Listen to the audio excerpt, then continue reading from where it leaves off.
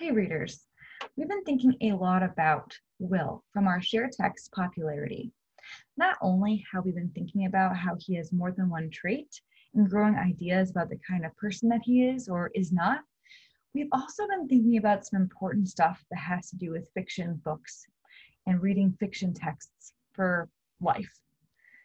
We've been thinking about how whenever we read fiction texts, we as readers need to expect that the characters will be more than one way. And this is because characters are complicated. This is true whenever we are reading popularity, and it's also true in books like your independent reading books and your book club books. Why? Because you and I are complicated. We're not just one way.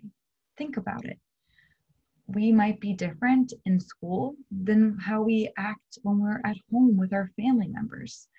We might act differently with one person, like a teacher, versus a parent or a sibling. We might be different on Tuesday and another way on Wednesday. We're complicated people, we're real people, and we're reading realistic fiction. So, no wonder why our characters are kind of tricky to figure out.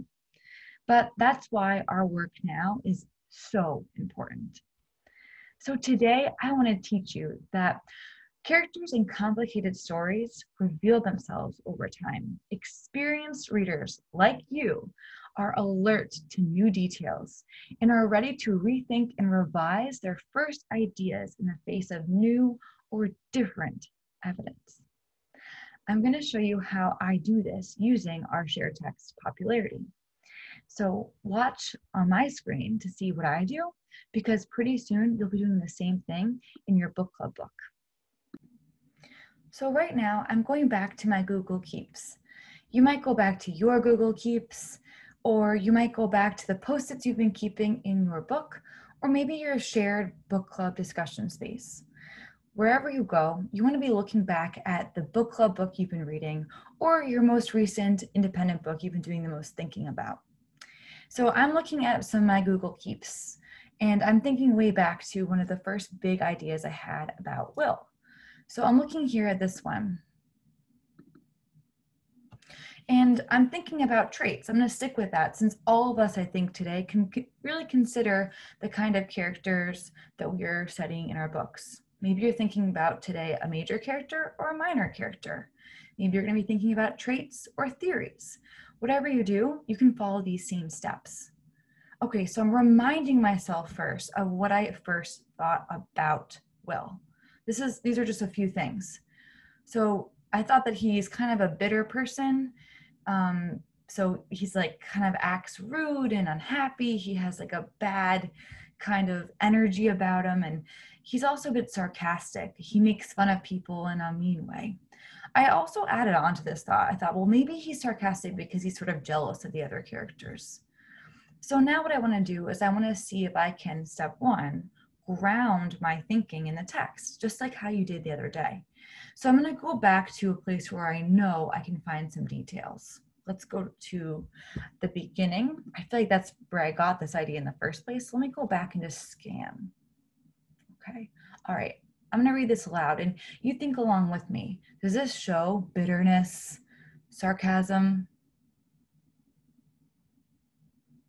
Aside from being a little more than our share than our share of baby fat, the two Allens and I had very little in common. In fact, we could barely stand one another. So that's just like kind of a strange thing to say, isn't it?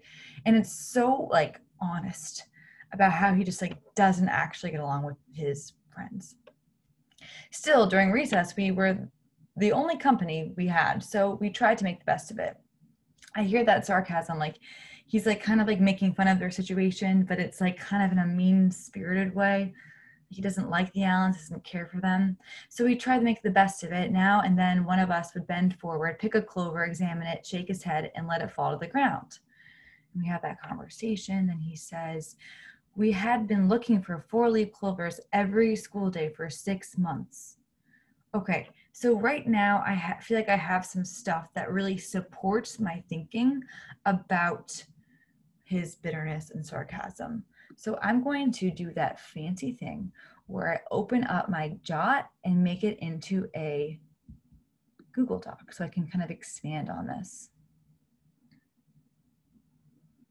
So just a refresher, I press those three dots. I went down to copy to Google Docs and I press open doc. Okay, here's my jot. Now I want to really set myself up to compare and contrast my thinking because I told you before, I'm going to be looking at different kinds of evidence. So let's see. At first, I'm thinking about his bitterness, his sarcasm, bitter, sarcastic, and then what shows it?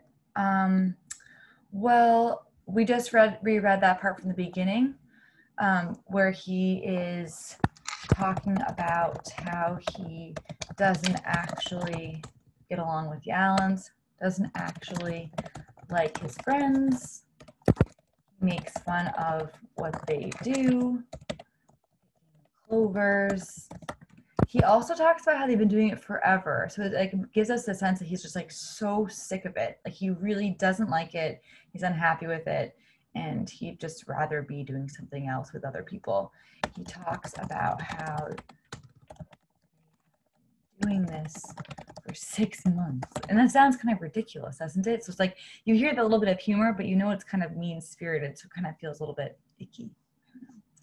Okay, so now I want to see if I can support this in other parts of the text.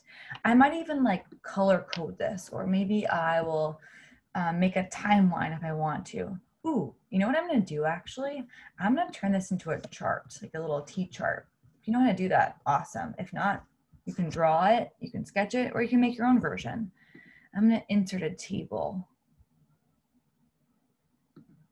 Okay, so the beginning of the story, only really read up to the middle, but the middle I can definitely look at next. Do you see how I'm plopping this into a chart? Maybe you don't know how to do this. That's okay. Maybe you just make your own columns.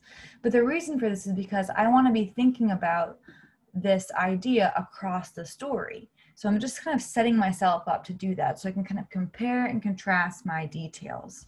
So now I want to go to the middle and I want to just see if I can still prove this bitter, sarcastic. So, where can I find some examples? All right, I'm going to just scan. He talks about Sean Owens. That doesn't really show much about the bitterness. Hmm. Probably, it probably will be another part where he's talking about himself again and like his social status again. How about that part where he talks about yeah, like himself in relation to all the the popular guys. How about this part? Listen to this. What do you think? I wonder what my position in the group might be. I certainly wasn't a great athlete, student, or ladies' man, but I did have a sense of humor. Wait a second. Doesn't this sound different than it did before? He did before. Before he was so down about about himself and his friends. Now he's like kind of boosting himself up. I'm going to write that down because I think that this is actually super different. So I'm going to come back to the bitter sarcastic thing. I'm not quite sure if I'm totally still on board with that idea, but the details I'm gathering kind of show um, that he is talking himself up, like sense of humor. Let's see, what else does he say about himself? Maybe I could be the second funniest boy in the fourth grade. That does not sound like the the guy before doesn't it? It doesn't sound like Will at all because Will was talking so poorly about himself and his friends. Now he's like, maybe I could actually be the second funniest kid in the school. Super different. Um, talking himself up, thinking, thinking he could be the second funniest kid in his grade. Anything else that feels significant from this part before I like have to probably stop and revise my thinking. Sleep. Let me see. But that night, just before I fell asleep, I saw myself standing in the center of the popular boys, telling the funniest stories anyone had ever heard. I saw Sean Owens doubled with laughter. I saw myself triumphant. That sounds so different than what I was thinking before. I don't think I can totally go along with bitter sarcastic anymore so I think I have to rethink that. you know what I'm gonna do? I'm gonna work backwards. I'm gonna look at the details first and then I'm gonna see what else I could come up with. Okay, so the other thing he says was like triumphant. So he's thinking about like as he imagines himself among the popular boys. Okay, let me just reread these examples that I found in the text in this section and then think, well, what does the middle part show about this character? So he talks himself up, he has a sense of humor, he thinks he could be the second funniest kid in the grade, and that he feels triumphant in his dreams and he's imagining himself alongside the popular boys. To me, that sounds hopeful, doesn't it? Optimistic. Make this a new color. Hopeful, optimistic. Do you see how this is now super different than my original thinking, bitter, sarcastic? My ideas are changing. I'm revising my theory about the character as I read on or reread. So I hope what you're seeing here is that if you take the time to really think about your big idea about a character, your theory, the traits that you come up with initially, and then push yourself to look at different parts of the story, your thinking might totally change.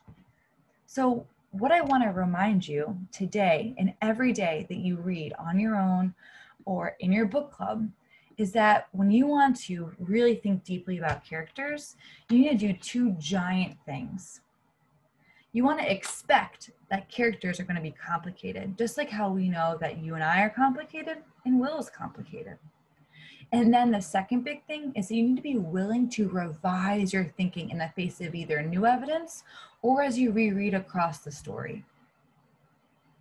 So today, what you need to do is you need to make a decision you need to decide what you're going to be working on in your book club or independently. So here's what I'd like you to think about first.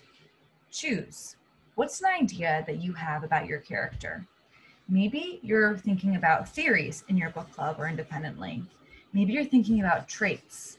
Pick one thing right now. Am I going to focus on a trait or a few traits I've been noticing about my character?